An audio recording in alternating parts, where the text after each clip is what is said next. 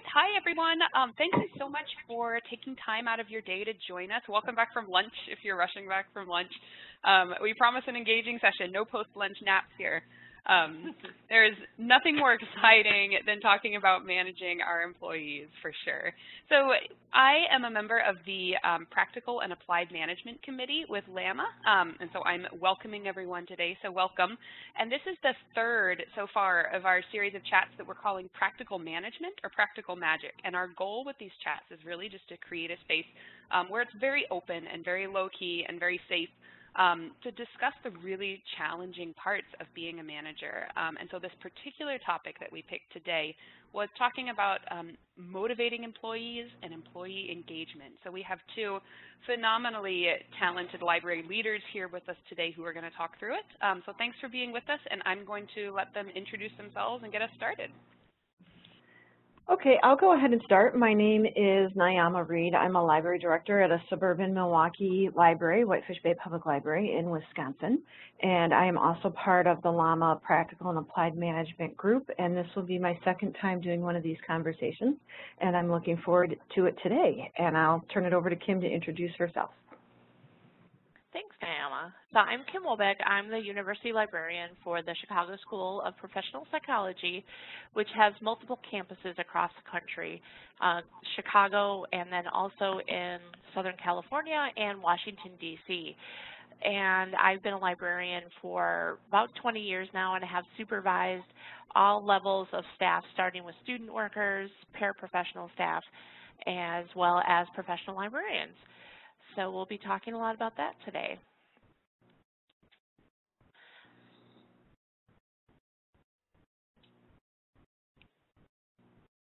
Um, I, I'll go ahead and do the chat recommendations. For those who have come in, we had these at the beginning because we delayed for a moment. But just to let you know, you're welcome to use an alias if you wanted to keep your identity secret due to some of the sensitive natures of the questions and postings. Also, all attendees coming in are muted, so only the panelists can be heard. Please ask questions in the chat window, but switch it to all participants. I believe the default is something different, and so then like the participants may see it, but the panelists won't. So if you switch it to all participants, then everyone can see it.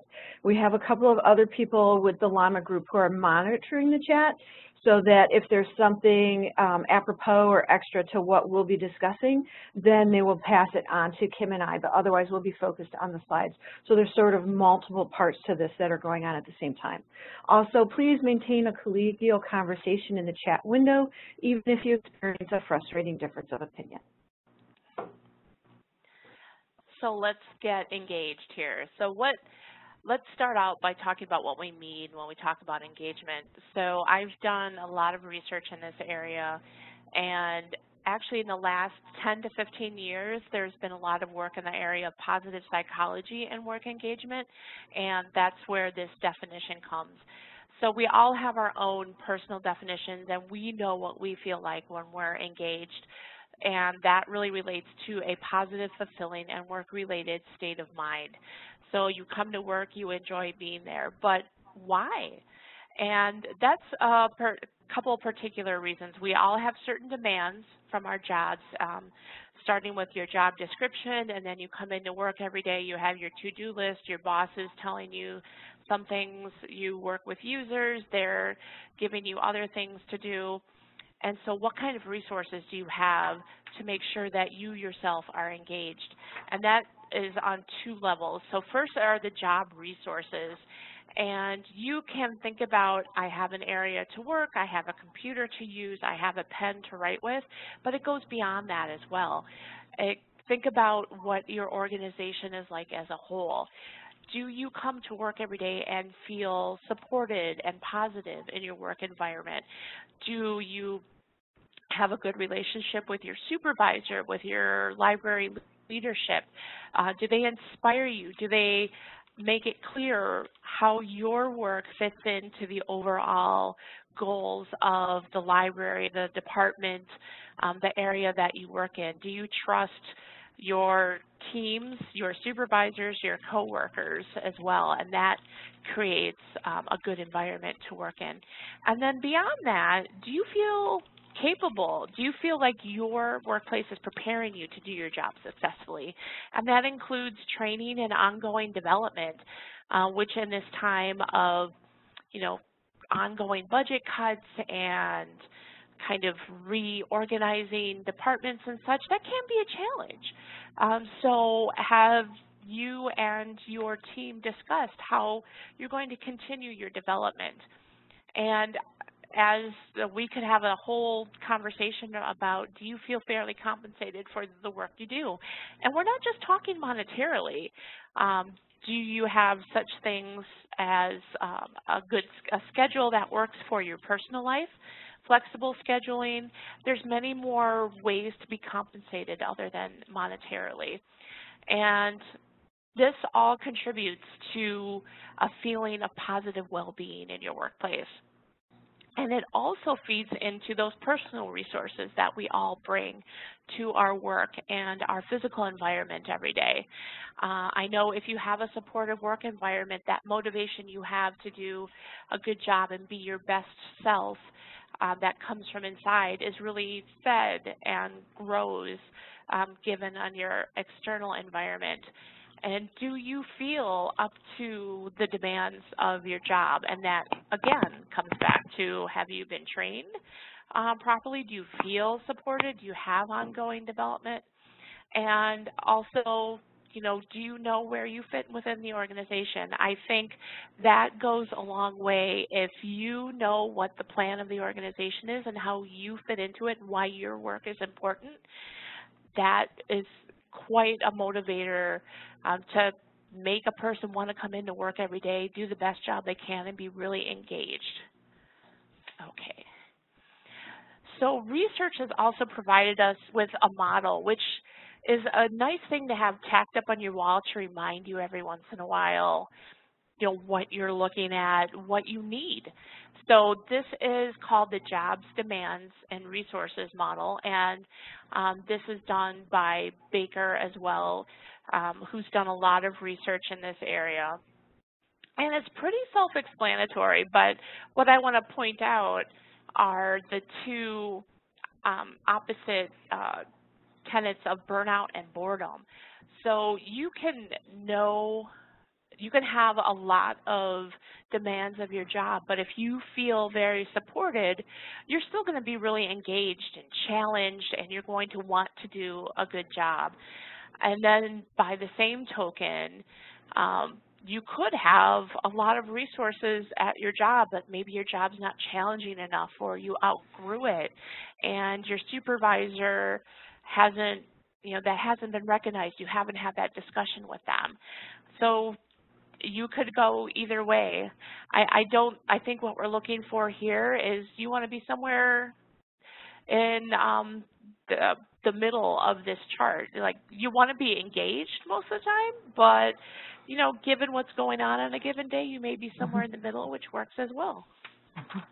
And I'll just pipe in there, doing this um, helped me since recently we are juggling a ton of stuff at my library with um, hiring a new department head and things like that, and looking at it going, oh, my demands are too high and my resources are too low.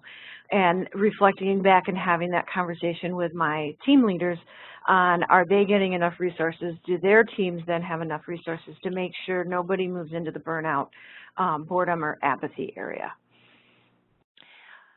And so as a manager, there is one key task that we can focus on here that's really important, although a lot of people think of it as time consuming, and that's the whole idea of coaching. And there's so much out there on life coaching, um, career coaching, different kinds of things. But what it boils down to is um, a couple of specifics.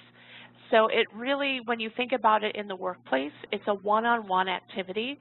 It's the supervisor and the employee, and it involves planning. So three primary features of a coaching relationship are that it's systematic, there's a, a, written out, agreed upon plan, it's organized, there are specific activities and conversations that will be had throughout the coaching sessions, and it's contextual it's a conversation. Coaching really is a conversation because you as a supervisor and your employee are agreeing upon what goals you both want to achieve out of this conversation. It is happening not in a vacuum, but within a specific context of the employee's work. So the three specific activities that are involved in this are directing the employee to specific activities, specific actions, on specific ways of doing things, motivating, how do you motivate a person to do things in a different way if they've always done things one way and you're trying to enact change together. And then that constant feedback, which we all really like to hear. And so the key thing to know about this is this is not a quick fix. It's not a one and done conversation. It is an ongoing plan. And it may seem very time consuming, but the payoff is higher than you can ever imagine.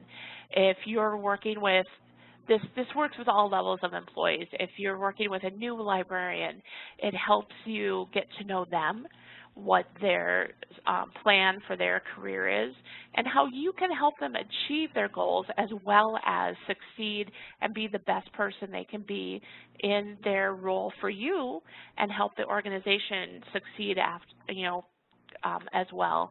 And then also on the flip side of that, when you're working with long-time employees who perhaps have done many different roles uh, within their library, and we'll touch on this a little bit later as well, um, making sure that they remain um, in tune to the needs of the organization, how their role fits into it, and keeping them learning and growing. And that really, at the end of the day, is what coaching is. Everybody benefits. Everybody learns about each other, about the work that's being done, and everybody continues to grow.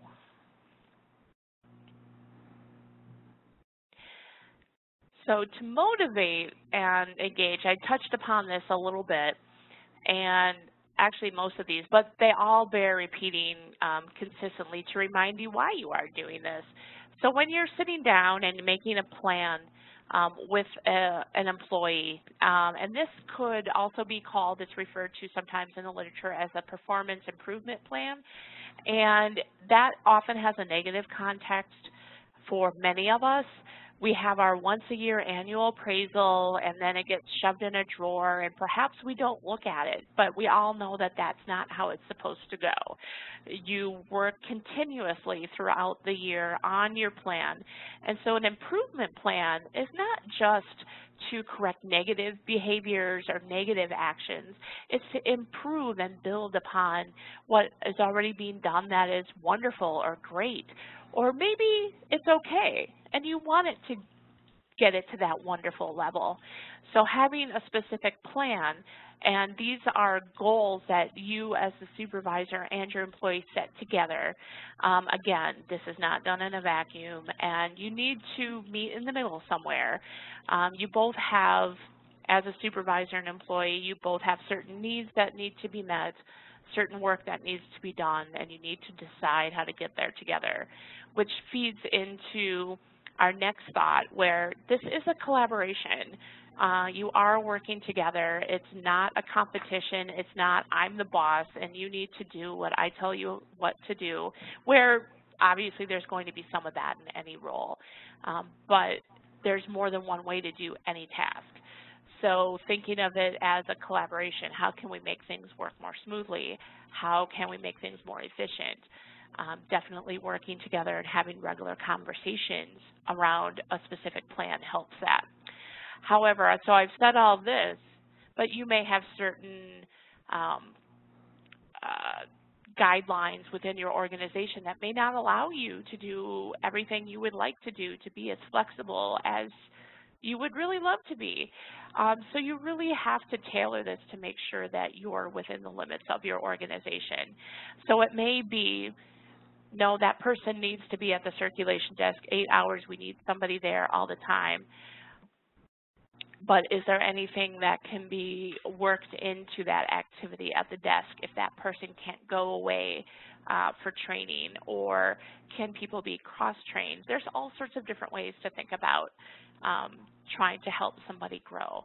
Um, but keep in mind that you're working together um, as part of the organization to help ultimately improve the organization as well as the employee. Okay, so moving into the first question, people were able to submit questions online via link if they chose to, and so we pulled a few out for today. And the first one is, how does one motivate millennials with a lesser work ethic than others in the organization? And this one stood out to me. There are several different questions that came up that were generational related or millennial related. And I wanted to reflect back along with Kim on is this a millennial issue or is it just overall generational? I'm a Gen Xer and I remember coming in the exact same conversations about us.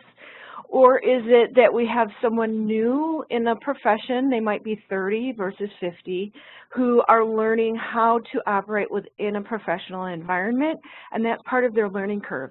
And talking with them about the culture of being on time and things like that.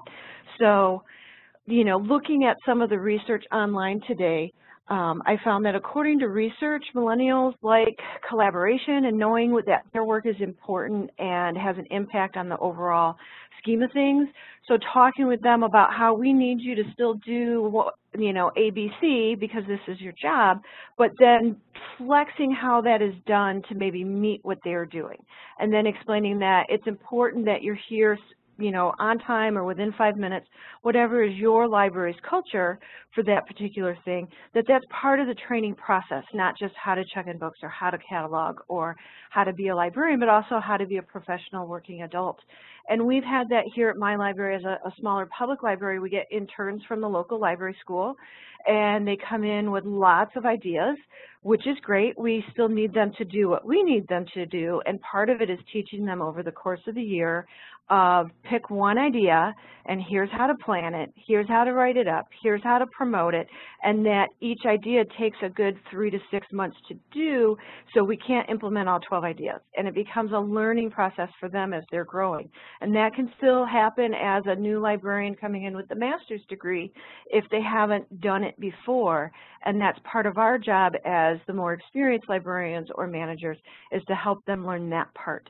Um, so for me personally, I try not to think of millennials as having a lesser work ethic, but that they have different experience and they might have less experience and how to incorporate incorporate that. And I know Kim has a lot of experience working with the students within her library. So how do you approach it, Kim? Um, I also want to say for those of you who may be in an environment where you employ student workers, um, I should say I've I've also worked with many new newbie librarians and have, you know, kind of not necessarily let them loose, but along the same lines that Nyama just pointed out, help them plan, help them figure out how to do it all, and then help them grow, and then they, you know, go, fly out into the world. And it's the same thing with your student workers too. So where I work, we are actually a graduate school of psychology. So none of the student workers I have are going to be librarians, although we secretly wish that many of them would, but they still learn valuable skills.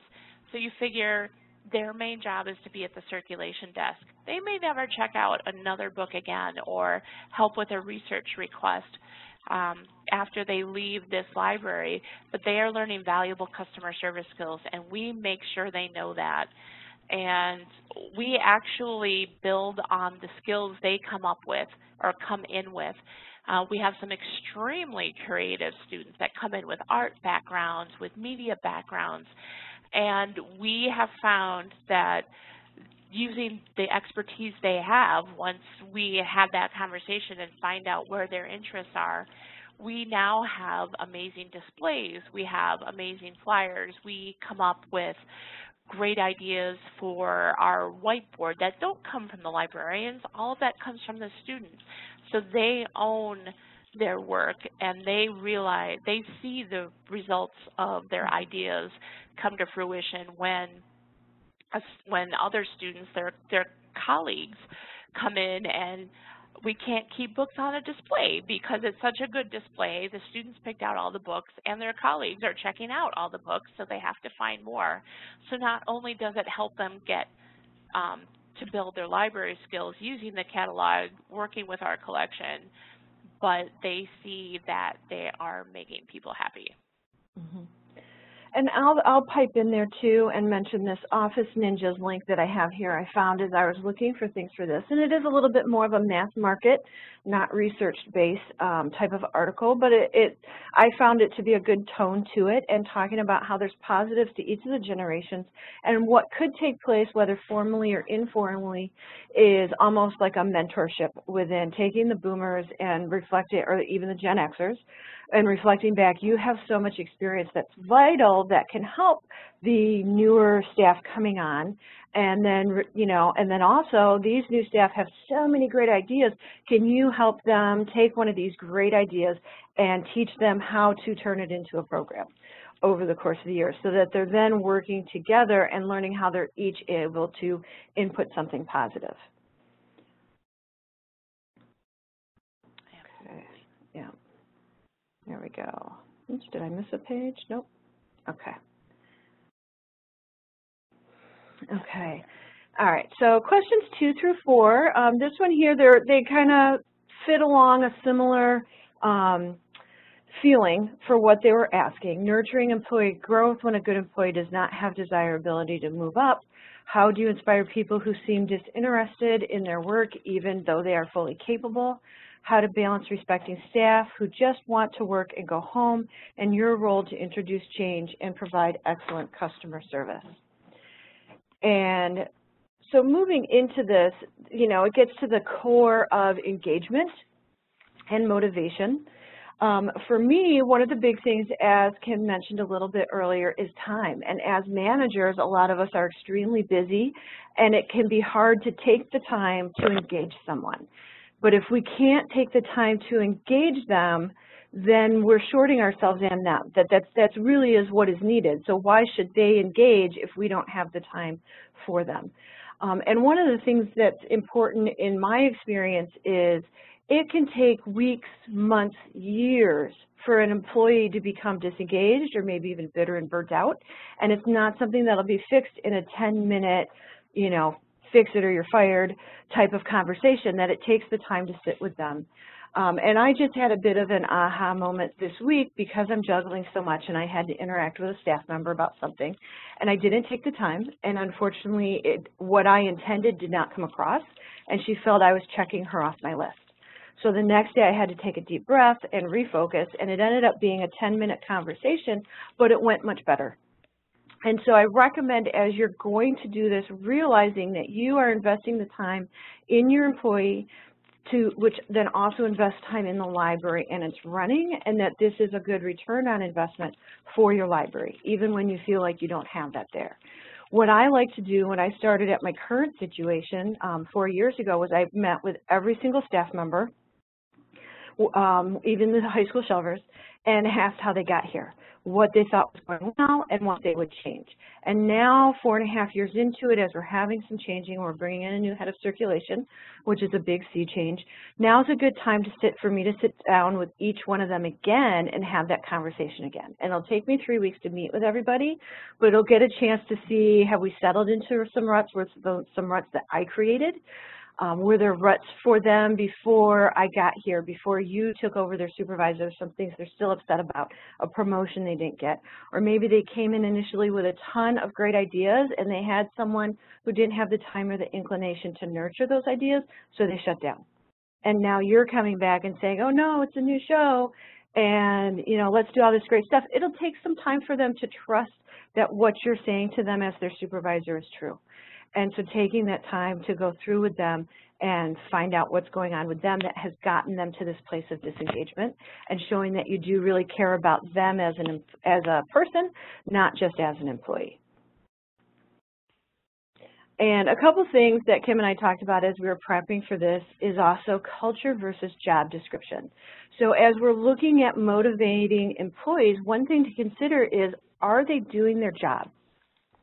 Are they fitting the job description? Not everyone is a star employee. And those of us who end up in management typically are go-getters, um, maybe type A's or people who just like to do a lot of different things and we enjoy it. And so we're constantly looking to improve and we then good or bad, judge other people based on that? And do we, is it acceptable for other people in the organization to come in and clock in and go home and, you know, and so they're maybe neutral, they're not negative and being dysfunctional, but they're not a star and they don't want to be a star. So my question back to you as the supervisors in these situations is, can you and your organization accept someone who's happy to do their job and clock out? And if not, then the next thing, you know, to get into is are they meeting their, the basics of their job description?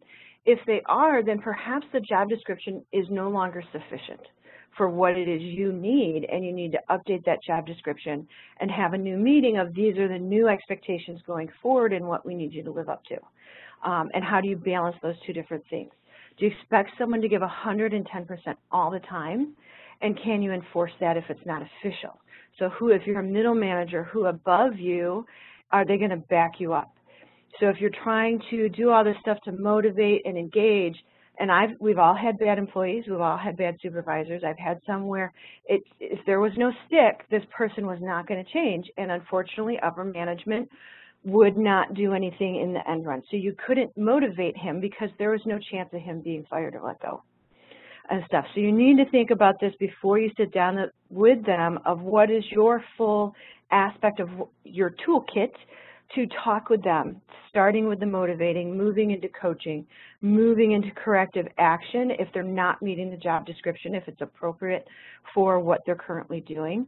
Um, and if not, is there the potential for writing them up or doing something? And if not, you may have to accept where they're at and work within that. And which I just wanted to bring it up because it's not always the, the answer that we want to hear, but we also have no magic wands and stuff. So, um, so hopefully your upper management backs you up in what you're trying to do.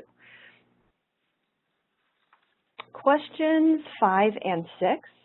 Um, these ones were kind of like taking all of these different things that we have talked about um, I have several staff members who are not motivated. They seem to only want to show up and leave.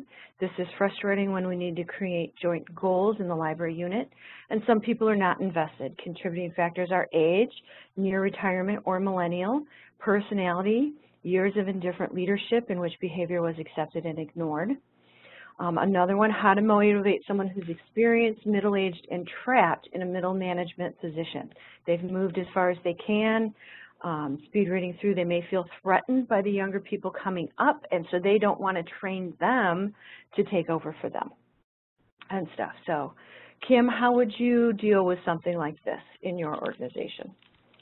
Yeah, with um, an employee who has been here a while, and um, I've experienced a lot of change in the organizations I've been in. So one of the things that I thought about reading this question is organizational memory. So those people who have been able to be in a place for a long time, they have a lot of skills and teaching that they might not even realize. So say if they're near retirement, perhaps they've been in an organization maybe even just five years, um, and everybody else is under that um, time limit. I think that's a really good um, training and learning opportunity, and you could do it very informally. Um, one idea that struck me is having things such as lunch and learns and say, today we're going to focus on circulation desk policies and you know how they evolved. So the person that's been here for a while can sort of give the history of what used to be done, why things changed from their viewpoint and how things have worked. And uh, that would be a good start to a conversation. Well, have we ever tried this? Have we done this? And this person may have some insight into uh, previous um, things that have been tried. In fact, um, as Nyama and I have been talking about this, it makes me think uh, we've had the same situation here um, organizationally because we've had, you know, a, fair amount of turnover in the last few years. So people come in with these great ideas. And I said, well, yeah, we've tried that about five years ago, but you know what? It's a different time now, so let's give it another shot. And so that would be a refresher for the organization. Maybe things that didn't work once will work now. And it's because of the suggestion of the person that's been here um, a long time. Maybe they don't feel as valued in their work because they know their job so well. So where can you challenge them um, by helping others?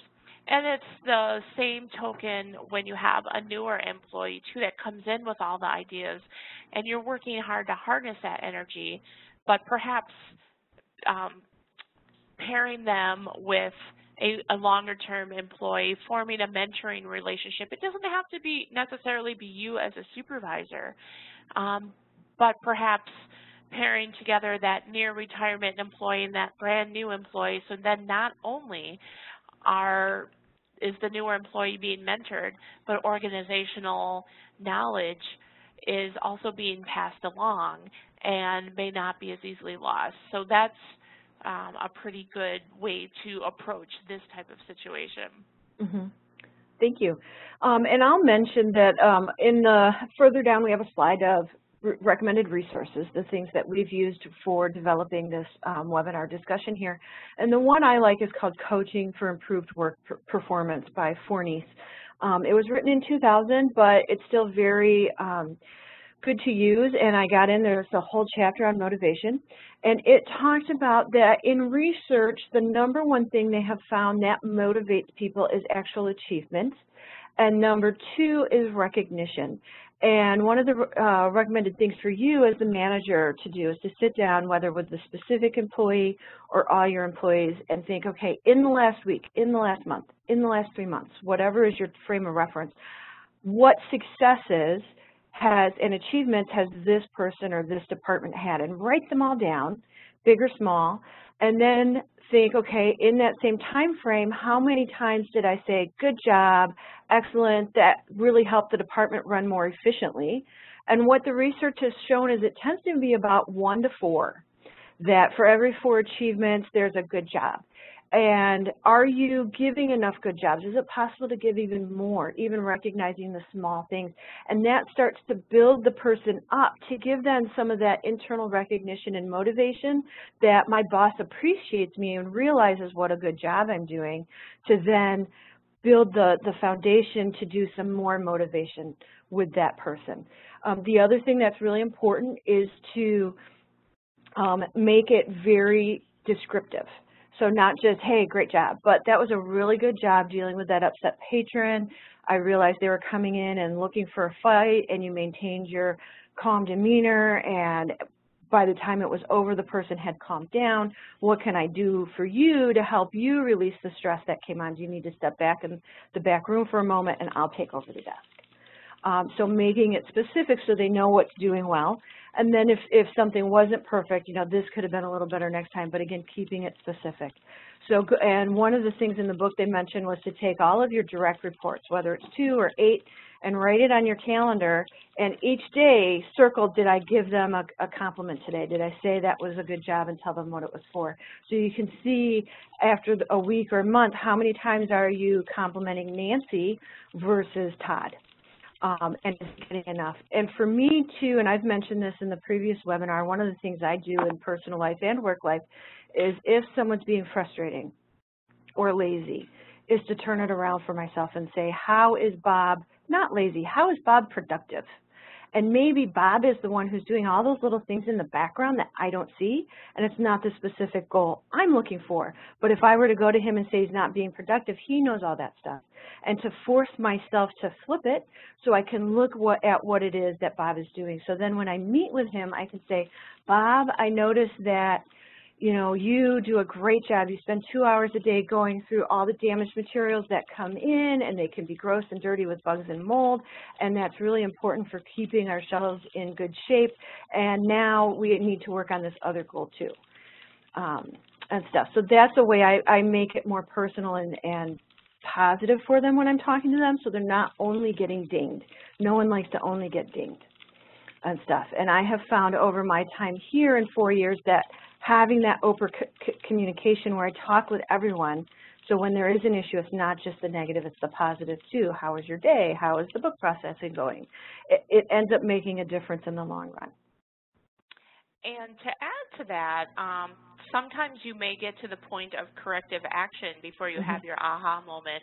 A particular story I'd like to share with that would was quite a few years ago with a student worker who was a good employee, but as Nyama was saying, he came across to me as lazy and not really motivated when he came in.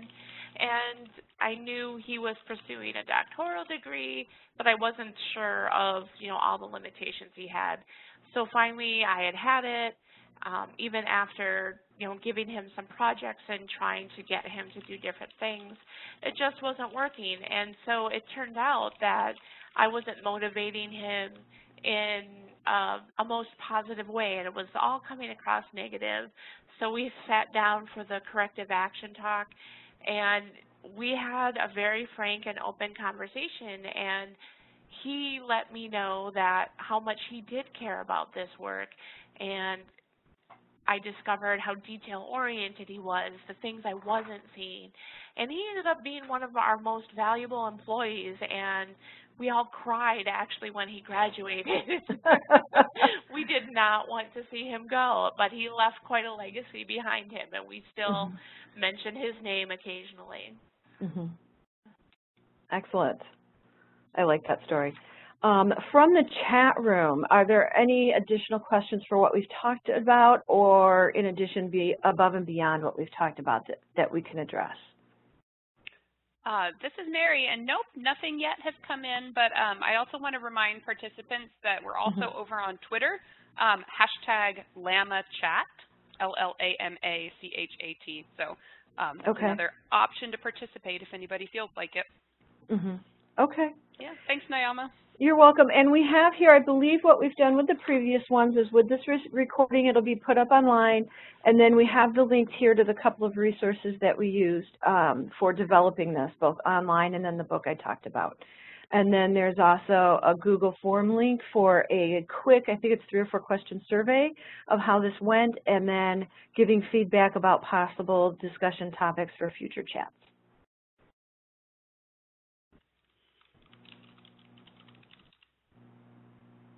Okay, it looks like that's the last slide. All right. Okay. Um, Any anything coming in last minute? Not yet. So, and do any of our attendees have any comments or questions? Um, I, as a millennial myself, I was really mm -hmm. interested in the millennial question. So I'm mm -hmm. just curious, maybe how that question resonated with people, um, maybe beyond the um, mm -hmm. explanations that Nyama and Kim provided. And I'll throw out there, it hit me too because one of my friends on Facebook, who is a colleague I've worked with, mentioned she's a millennial, and the upper end of millennials now are 38. Um, wow. So they're not the youngins. Uh, right. And, and there's there's some in there who there are already assistant directors and, and directors and stuff. So um, yeah. And I'm wondering too, you know, my first thought was, well, maybe is it even a is it even a work ethic issue? Maybe it's somebody who just works differently, you know, like right. Mm-hmm. maybe they're working at night after, you mm -hmm. know, picking something up in the evening or working on the mm -hmm. weekends. So I think really having those conversations yeah. about how people prefer to work um, can even be really illuminating. Okay. I just saw a question pop up um, from someone saying, how do you motivate student workers when there is high turnover? I'll, I'll turn that over to Kim. well, it's not easy. Um, mm -hmm. And we've tried a number of different things here from having an employee of the month to having competitions, especially mm -hmm. when we instituted um, marking our reference statistics. Mm -hmm. um, but what I've found the most motivating is really having that conversation with your student workers and finding what they what their outside interests are outside of mm-hmm. school. Mm -hmm. So a reference again to all the creative, artistic um, people we've had, or perhaps you have somebody that is really good organizationally and it details. In fact, I have mm -hmm. two people on my student staff right now who are extremely creative, and we've basically put them in charge of um, displays and um, flyers and mm -hmm. then I have a couple other um, students who are extremely detail oriented and there's a huge reorganization project we're doing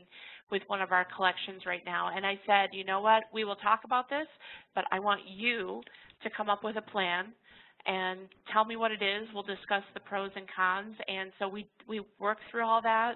We had an organization Mhm. plan, and we're halfway through with the organization, and she's leading the whole thing. Mhm. And I, she comes in, she jumps right into it. She's Mhm. highly motivated. So I found that meeting the students where they are also Mhm. in terms of not only what their skills are, but what their limitations are. Mhm. Um, we find, yes, around finals time, we have to remind people, don't forget, we know you have finals.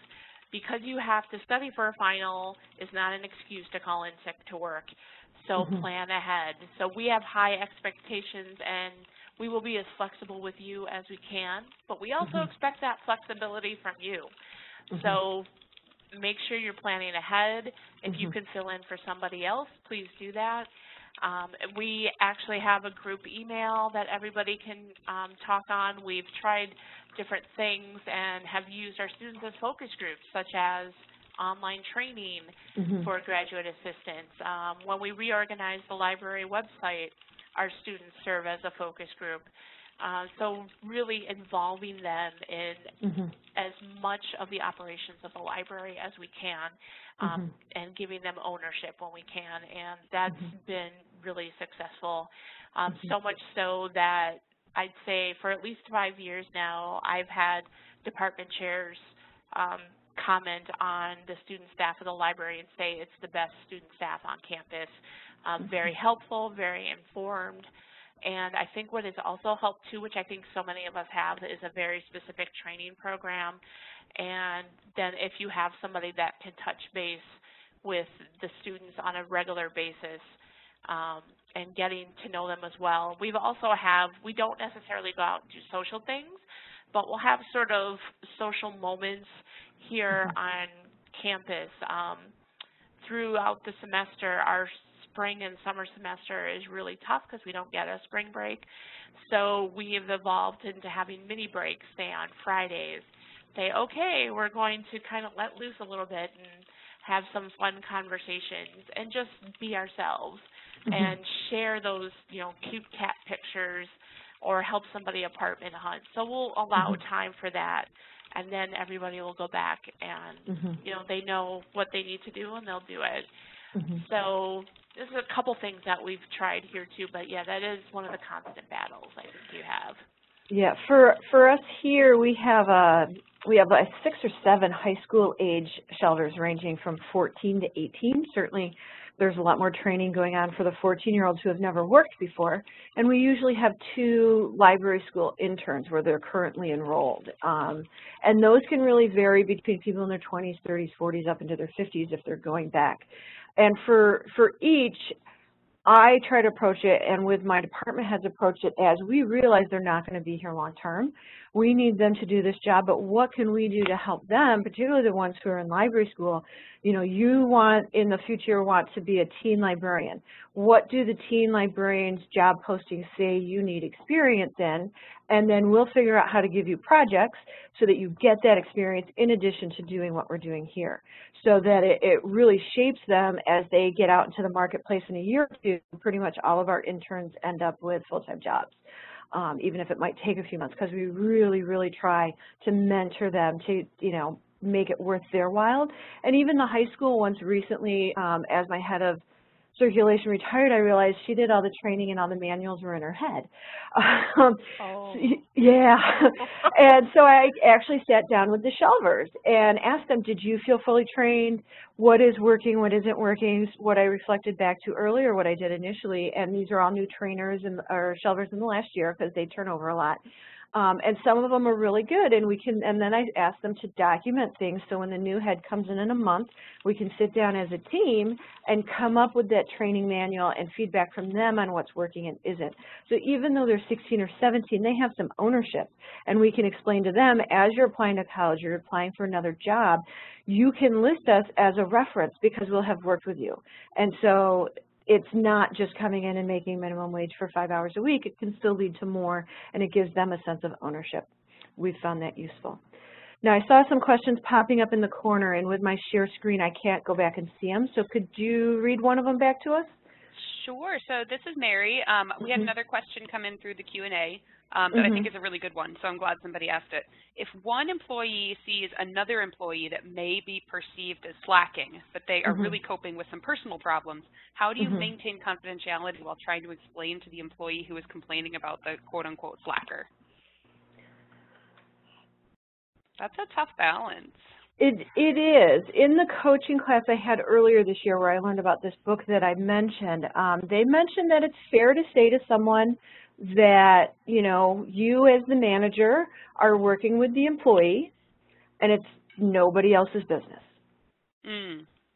You know, and, and reflect that that may seem frustrating, but that you are dealing with it. And hopefully as your manager, you know, if you have that trust relationship, they'll leave it at that. But yeah, we just, we can't say anything like, oh, you know, that still gives away that something's going on mm -hmm, um, mm -hmm. and stuff. So, and hopefully with time, you know, they'll, if they have something, they'll realize, or maybe the staff member, if they're comfortable, they'll bring up what's going on with the staff. But it, it is, and I'll reflect back to staff, you know, as a manager, I, I just can't tell you, you know, because of confidentiality. And just as you would want me to be confidential about, you know, your employment and things going on, I need to be confidential for other people and stuff and reflect it back on that. And they, that may not give them the answer they want, but unfortunately, it's the, you know, getting down to the legal part of being a boss, um, it, it kind of cuts it and stuff. I think the harder one is when you see people slacking and staff and management doesn't deal with it.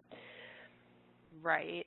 And yeah. I've also seen, again, this is Mary again, I'm just jumping into, I've also mm -hmm. seen where, you know, I, I've learned a long time ago, like we have no idea the mm -hmm. conversations that employees and supervisors have and the arrangements mm -hmm. they make with each other. You know, it could be that that mm-hmm. person, maybe they are taking some time off for doctor's appointments or something, but maybe they're making that mm-hmm. time up in the evenings or the weekends or working from mm-hmm. home. So, you know, I, we really have no way of knowing um, mm -hmm. I think it's mm-hmm. tempting to make those snap judgments if you see somebody like coming in maybe 15, 20 minutes late every mm -hmm. day, um, but we really mm-hmm. have no way of knowing what arrangement they have with their supervisors. Mm-hmm.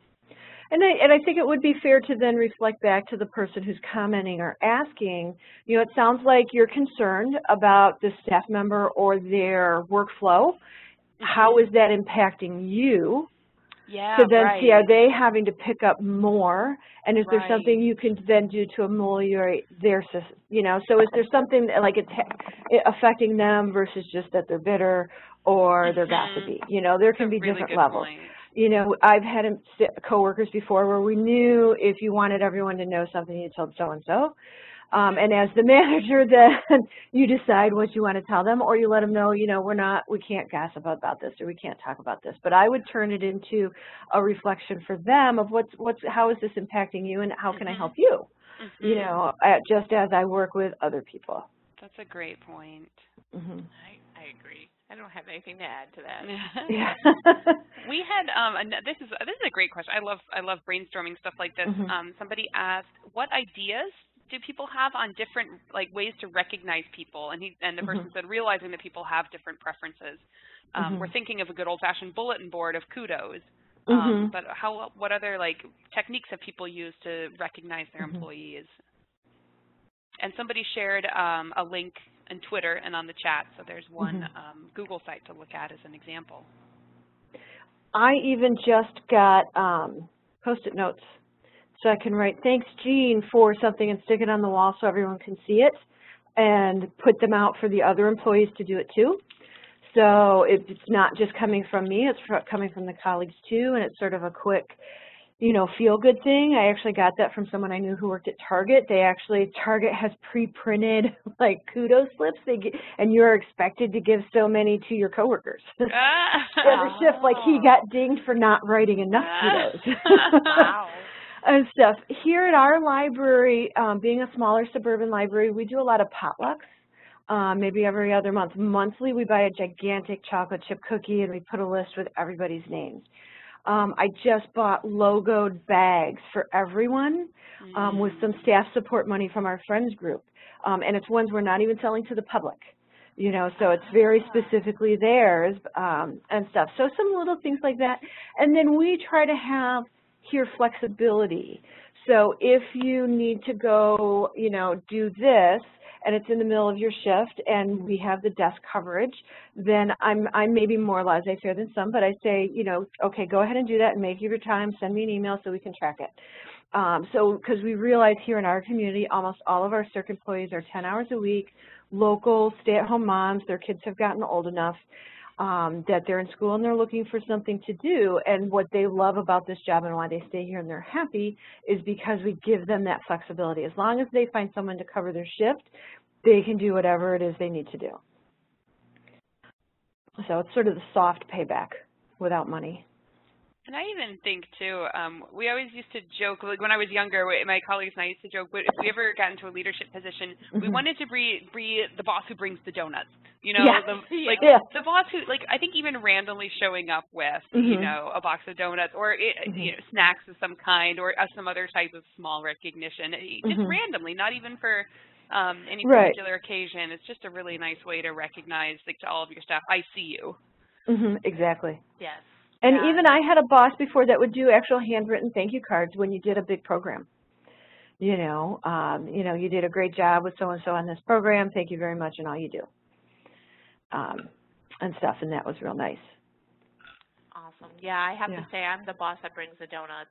Um, I love and that. one of one of the things um, too that if your organization has a newsletter, whether it's internal or external, um, say it's monthly. We have um, monthly or biweekly newsletters here, and giving a shout out to mm -hmm. somebody who's done a good a good thing. So people who might not know that name, they'll come and ask you. I'm like, oh yeah, let me introduce you to so and so, and then mm-hmm. that gets that person some recognition outside of the library, mm -hmm. and then people will come to them. I've also referred students to students, um, going back to the other um, the conversation about students with artistic ability who do our displays.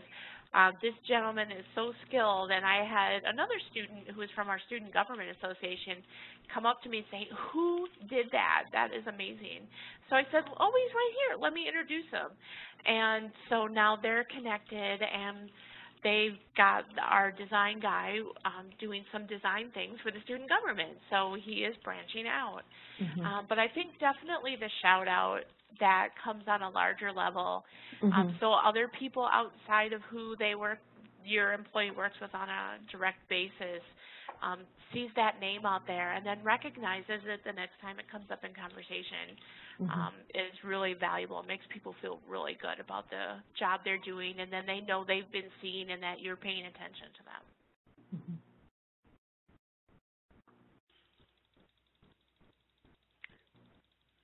Great. So I'm just looking through um, looking through the chats. I don't see any other questions come in. Okay. Um, yeah. So other, uh, there is um, the link that we shared was for a website that talks about something called an affirmation station, which I love. Um, I do. Oh, I want to try okay. that. Yeah, it looks like a really great idea. Um, but yeah, so I think if you all don't have anything else to share, we can go ahead and wrap this up. Um, Excellent. Yeah, so I just want to thank Nyama and Kim mm -hmm. for being here today, for leading this discussion. I'd like to thank the participants for all their great ideas, their great questions. Um, mm -hmm. Nyama, do you want to pull up the, uh, or do you want to pull up the slide with the survey? Um, I have, I should have it up right now. Yes. So it has the QR code and then the Google Form link. Perfect. Oh, yeah. Um, you might be able to cut, no, because it's PowerPoint, you can't copy and paste it, unfortunately. Um, could you copy and paste that into the chat? Actually, I could probably, I could pull that up from the file you sent us. If you could, yeah, because because I'm yeah. sharing my screen, I can't see the yeah, chat. Yeah, perfect. And I All don't right. know I how will, to exit this without logging out, so. Let me pull this up. So everybody who's still Mm-hmm. attending, mm -hmm. um, I'm going to put up a link for a quick, quick, mm -hmm. quick survey. And I promise this Tiffany helps. just got it. Oh, good. Thanks, Tiffany. Okay. Um, mm -hmm. this really helps us. We uh, there's a whole committee of us who plan these talks, and we want them to be useful mm -hmm. more than anything. Um, mm -hmm. We realize pretty quickly that these chats are filling a real need in our community. Um, so we Mm-hmm. really do listen to your feedback and take it very seriously, and it will help us plan our um, future chats in this series. Mm-hmm. All right. Thank you, everybody. I hope everyone has a great weekend. Thanks, yeah, thank everybody. You.